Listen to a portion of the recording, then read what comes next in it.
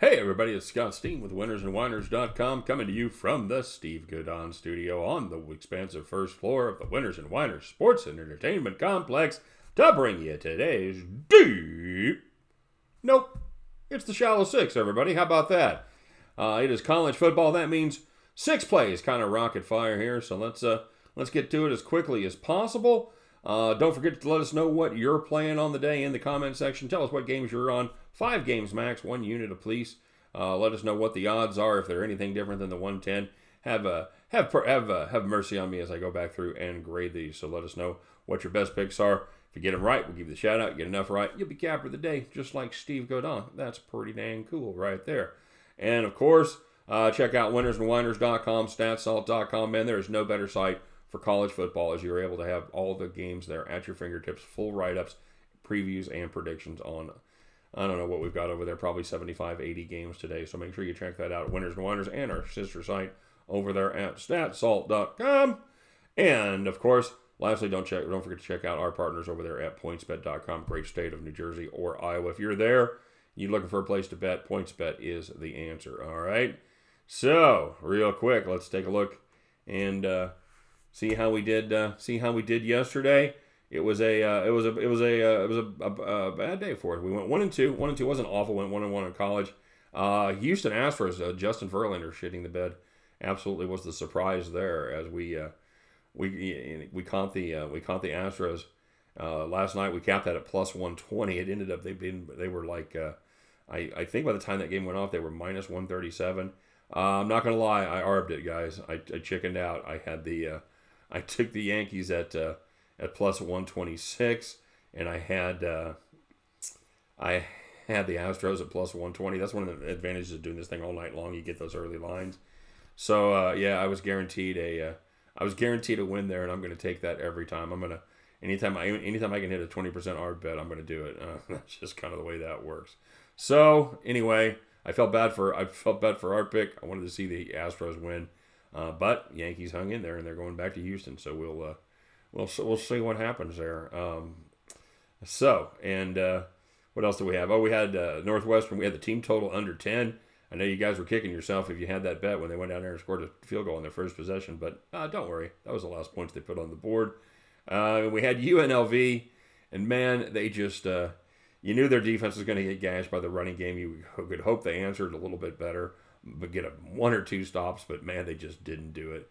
They were as bad as we were thinking. So um, yeah, one and two we go, one and one college ball, and we went one and one on the premium side as well, as we had FAU to cover, and they just they just couldn't stop. Uh, they couldn't get any stops on uh, the Marshall run def- uh, running game. They just couldn't do it. I, I don't know. Uh, Marshall had been pretty incompetent mostly most of the year running the football. They did well there, um, and uh, FAU lost outright. Not only didn't cover, they lost outright. Uh, but we were able to rally with Ohio State as they uh, took care of business and covered the spread there easily. That was uh, that was kind of a gimme there against Northwestern. So one and one we go, uh, two and three on the day for the five picks. But let's uh, let's get rocking here on the shallow six.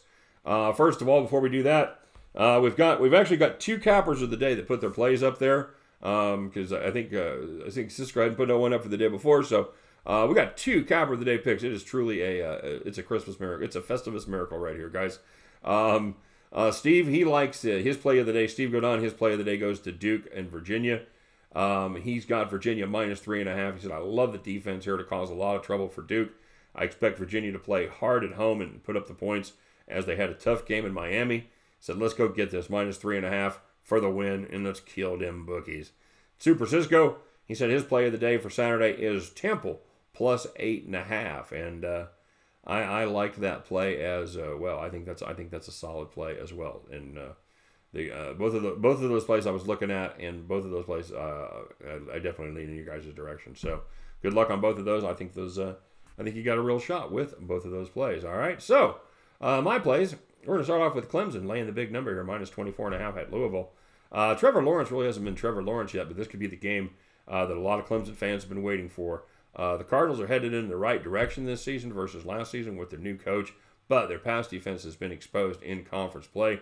They've given up 370 yards per game through the air in conference play. Uh, and they're not that great against the run either. They've given up 500, excuse me, 215 yards per game in conference versus the rush. Uh, if you're scoring at home, that's 585 yards total, and that is not good. Uh, Louisville wants to run the ball, uh, but good luck versus a, a, Clemson Tigers defense that just absolutely lives behind the line of the scrimmage and uh, line of scrimmage and uh, records t- uh, tackles for losses like nobody's business. They allow just three yards per carry. That is 11th in the division. go ahead and give me the Clemson Tigers minus the 24 and a half here. We're swinging out west where they call me Tex um, with lots of fake Brit Anyway, uh, channeling channeling Kid Rock. Uh, the uh, taking a look at San Diego State and the San Jose Spartans. San Jose State Spartans. Looking at the total there of 46. Guys, we're gonna zig instead of zagging with the San Diego State here.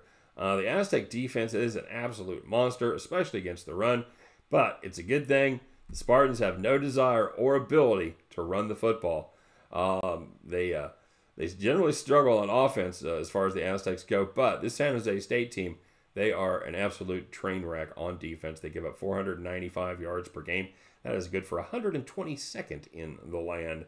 Uh, Spartans, they're probably going to throw 40 to 40, 42 to 45 times, and that's always a good thing when we're playing the over. Good things happen when you throw the football. You're either getting chunk yardage or you're stopping the clock. I like the San Diego State Aztecs and the San Jose State Spartans over 46 in this one. And turning our attention to the Fun Belt as the Louisiana Monroe uh, Warhawks travel to uh, the wilds of Virginia to take on the App State Mountaineers. Appalachian State is a 14.5 point home favorite in this one. Uh, this is the mount, first time the Mountaineers have ever hosted a game as a top 25 team in the history of that program. Uh, these guys have been getting better every week especially on the defensive side. Uh, we saw that game against Louisiana last week. They held the number one rushing team in the country to 3.7 yards per carry, and they beat uh, the Raging Cajuns on the road. This is a very bad Warhawks defense that's given up 500 or more yards in half of their games, including giving up 750 to Iowa State. I think the Mountaineers roll this ugly defense and stay ranked in their home game. Give me the Appalachian State Mountaineers minus the 14 and a half points. And looking in the Big Ten, uh, the Golden Gophers travel to Rutgers, the Wilds of New Jersey, to take on the Rutgers Scarlet Knights. Minnesota is a 28 and a half point favorite in this one. Okay, Gophers, I'm convinced. You know what? And even if I weren't convinced, uh, playing against the horrid Scarlet Knight squad uh, would certainly help convince me, at least for this week. Uh, the Knights have been shut out in three of their six games, and they've scored a grand total. Pay attention. They've scored a grand total of seven points in four conference contests. Now they have played Wisconsin, they played Michigan State, they've also played Indiana and got beat 30 to zip by the Hoosier Daddies. Uh, not surprisingly, uh, with an offense that can't sustain drives, the defense gives up a shitload of points.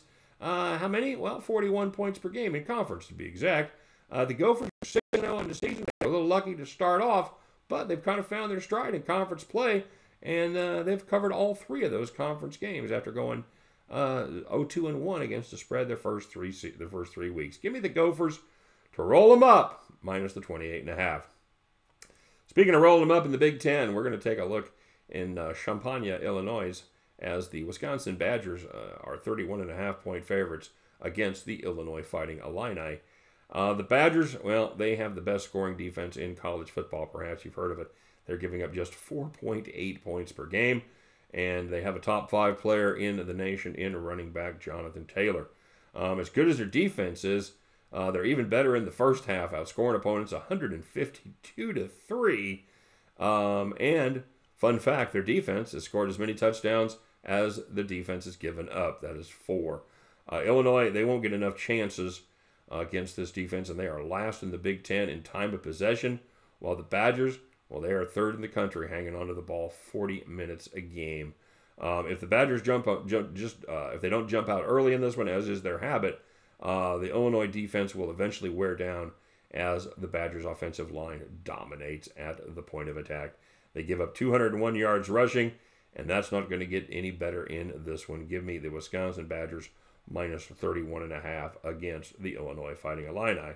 And Finishing it up from the very west coast as the Air Force Falcons travel to the Aloha State to take on the Hawaii uh, Rainbow Warriors. Air Force, Air Force is a three-point road favorite here. This game comes down to one question for me, guys. Does Hawaii's pass defense have a better game than the Falcons' pass defense? Uh, we start with the premise that both of these teams are going to be able to do their thing, all right? Air Force is going to run, Hawaii is going to throw. But the Warriors' defense has been absolutely gashed on the road this season, and they haven't seen uh, any team that's nearly as sophisticated as the Falcons are at, at doing it. Uh, Air Force runs the triple option like the other service academies, but uh, they run it a little differently, a little kind of a modern twist to it. They use zone reads, uh, a little bit of counter action uh, that the other service academies don't really incorporate. Uh, they're going to run basically until you stop them, okay? Uh, they're going to take the occasional deep shot down the field, probably not going to throw any more than 8 to 10 times, but when they do, they've been incredibly efficient so far this season. Uh, they're averaging 11.8 yards per attempt. That's third in the country behind Oklahoma in second, and first, well, it's Navy. So it's the teams where they lull you to sleep, lull you to sleep, and then hit you over the middle off the play action uh, for big yardage. Um, the Warriors are going to get theirs. Make no mistake. This is a good, good passing offense with Cole McDonald and some stud wideouts. But McDonald so far has been very turnover prone. He's thrown nine picks on the season. Uh, that is second worst in FBS. And the turnovers they become even more critical in uh, in games versus teams that hold the ball as long as Air Force because you just don't get that many chances. I like the Falcons right here on the road minus the three points. So to recap, give us the Air Force Falcons minus the three. Wisconsin Badgers minus 31 and a half. Uh, Minnesota Golden Gophers minus 28 and a half. Appalachian State minus 14 and a half. The San Diego State San Jose State under 46 and the Clemson Tigers minus 24 and a half at the end of those six games. You guys can join me. We'll pick up our winning tickets. We'll have a profitable Saturday, and we will head back to the window. All right, everybody, let's uh, do our little housekeeping here. Put up our uh, information on the premium picks with the updated stats. By the way, talk about the premium service a lot. We kind of gloss over, but I do like it is a premium service unlike anybody else. I do have daily video for all my premium subscribers where we talk about the picks, we talk about uh, the reasoning behind them, we go into a pretty good depth on those. So uh, not only do I just I don't just send you the picks out and say you know play these. Uh, we're always going to let you know what we're thinking is and answer any questions that you might have about those picks. So yeah, just wanted to let you know that. So um, we've uh, went one and one yesterday. Still one under for 500 on the, the on October, but we are doing still well on football. 47, 34, and 1 on the season. That is 58%. All right. So, you want to get down the premium picks, make sure that you uh, get yourself signed up there. We'd be happy to have you on the team. All right. All right. So, let's start the shout outs here with the, one of the uh, best names I've seen. Uh, Rico Ramos said, I am the turkey chairman. Holy shit, that made me laugh. Um, you know, because I, I told you every time I look up, I'm looking at myself. Here's what I learned how to do today. Look at that, huh? Huh? A little shaking. Bend over, let me see you shake your tail feathers. Um. Anyway, Rico, I love that name, man. If I get, if I didn't have to explain that every time about why I call myself the Turkey Chairman, I would use that. That would be my new name. I would be the Turkey Chairman. It's just okay. All right. Enough about me though. Uh, let's start off with our uh, returning champion here, Steve Godon. Uh, Steve, but uh, he uh, much like me, he loaded up a little too heavily on the Owls, and uh, he was still able to eke out a, a, three and two plus 80 record on the season as the Ohio State took care of business, as did Pittsburgh. Uh, Max Luminous, uh, Max is checking in, saying good luck on the deep three, of course. I said you and that damn turkey chair. I said you didn't mention my five and one night, and uh, two and zero oh in the second half place. Man, I am convinced that I am not seeing everything that is that is written there because uh, like I told Max in, the, Max in the comment section, I go through these like at least twice a day, usually more than that. And you know me, guys, it's late. I'm old. I'm to space things. I'm to miss them. All right, but I'm not to miss them. Uh, I'm not to miss them that often. All right. Um, so yeah, I'll. If, if I miss you, it's my apologies, and I'm blaming it on I'm blaming it on technology. Uh, old man yells at cloud. All right, now moving on. Uh, Max, uh, Max again. He uh, he made the mistake of, uh, of tailing us I mean, I know he had him cooked up on his own, but uh, he had FAU and UNLV. The game I laid off of, God damn it, the game I laid off of was the Pitt game, and it was because they were kind of uncertain with their running backs there. Uh, both those teams were psycho, and of course, those are both my leans was the under in Pittsburgh. Uh, but I, I, talked myself out of it because of the uncertainty with the with the injury. So yeah, good move there. Um, and uh, Max is another case of me not listening when I got with Northwestern play at plus 28. Uh, yesterday, if I listened, I would have gone six and one with UCLA money line. Said he may still take the 28, but as of, as of now, it was a no play, and I hope that stayed a no play as 28 made no difference. Uh, C Dub, C Dub had a, a, few soccer picks, and I just graded the first five. Um, wasn't the best day, but hopefully that evened out, and C Dub ended up doing okay on the day. Uh, time traveler Steve, uh, time traveler Steve, he went. Uh, he had a, a four team parlay, and uh, that did uh, he had two of them. He had, he missed on the uh, Northwestern team total over ten and a half. I know, man, ten and a half. It seems how how hard can it be for the home team to get ten and a half points? Well, when you when you're that god awful, it can it, it can be pretty hard. They uh, they just can't throw the ball, man. They just cannot throw the ball. And when he does occasionally throw a good pass, they're unlikely to catch it. It's a bad combination. Uh, so Steve, he goes, uh, he goes, ends up going, uh, uh, yeah, two and two on that parlay. Uh, the astute Aardvark said, "Gobble up these sniffs, and you can own a chair like Scott." Dare to dream, aim high, my friends. Uh, he had he had Ohio State, missed out on a couple others. He had the Astros at a nice price, man, plus one thirty six. Ow! I thought I was killing it, plus one twenty. He waited, he got it even better. Uh, and uh, yeah, none of this mattered. Um, Mikey B said, "God is good. Bless the chat, and he is back, baby." Um, he had uh, he had Pitt, but then he uh, also had Pittsburgh in the NHL. Missed out on a couple of uh, picks where he tailed us, the Houston and the FAU pick. But uh, actually, the FAU pick was a premium, but uh, uh, yeah, inadvertent tail there. So he gets he ends up getting juiced on the day.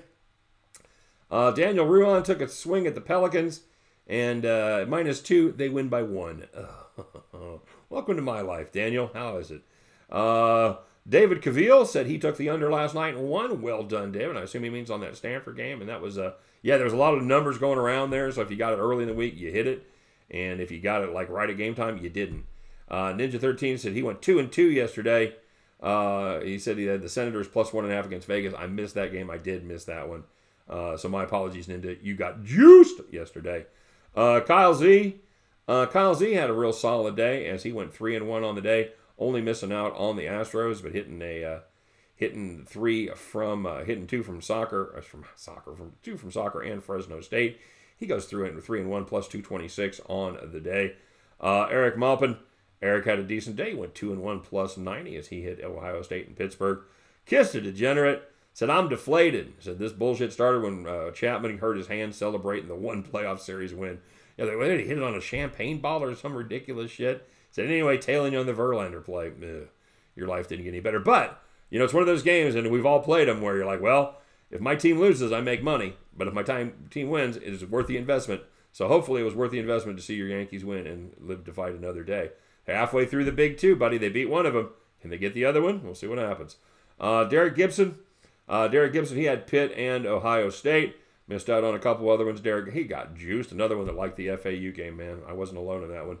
Uh, Nick Rampero said, It's turkey time. Said, uh, This just in from Pittsburgh. The winners are as follows.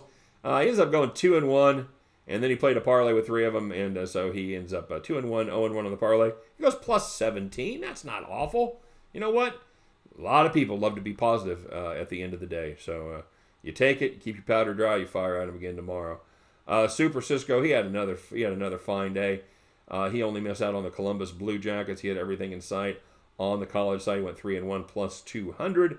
Uh, Cyrus Quinn checked in with a couple plays. Uh, he was digging on Northwestern, and they just uh, couldn't quite get it done there under the lights. Uh, Kent P. said, Happy Friday, everybody. We got college games. And uh, he uh, he hit one and then missed out on a. the Ohio State minus seven in the first quarter. That was brutal. So, of course, they put up 116 points the other three quarters, but yeah, I feel you, brother. mean Green Mean Green, you think I forgot you, did you, buddy? Uh, mean Green, he goes, uh, he gets the Houston, New York under seven and a half. Uh, also had the Houston on the money line and uh, had the FAU Owls as well. And uh, Florida ended up putting the beat down on him as the Florida Panthers did not take care of business on his NHL pick. So, Um, our Plaza cappers are for the day. They are Nick Rampero, 2 and 1, 0 and 1 on the parlay, plus 17. Steve Godon, our defending champion, 3 and 2, plus 80. Time Traveler Steve, oh, I'm sorry, Time Traveler Steve got juiced. Uh, Eric Maupin, 2 and 1, plus 90. Super Cisco, 3 and 1, plus 200. But it is Mr. Perfect, everybody. It is Kyle Zakowski going 3 and 1 plus 226 on the day. Once again, he is atop the leaderboard. And Kyle Z, you, my friend, are our capper of the day. Congratulations. Uh, congratulations to everybody else that made a little bit of money. Uh, that was warm up day. Now it's Saturday. I am for real. Let's get her done, all right? You guys take care. No matter what happens, hey, let's meet back here about the same time tomorrow. You know what the deal. We'll bitch about our bad beats. We'll brag about those fat sticks. And then it's NFL, baby. So we're going to just fire it up and we'll do it all again. All right? You guys take care. Have a great day. Talk to you tomorrow.